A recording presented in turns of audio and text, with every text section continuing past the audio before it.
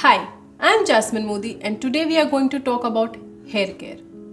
It is an open secret that all of us want hair like Rapunzel, isn't it? Hair is an important tool of beauty and we have different hair issues like dry hair, greasy hair, hair fall, premature graying, etc.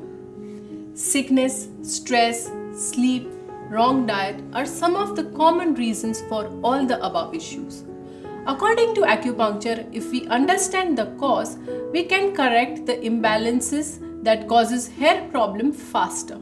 One of the common acupuncture point used for hair issues is at the inner side of the ankle. You can press this point preferably between 5 pm to 7 pm as according to biorhythmic clock, hair receives maximum energy during this time.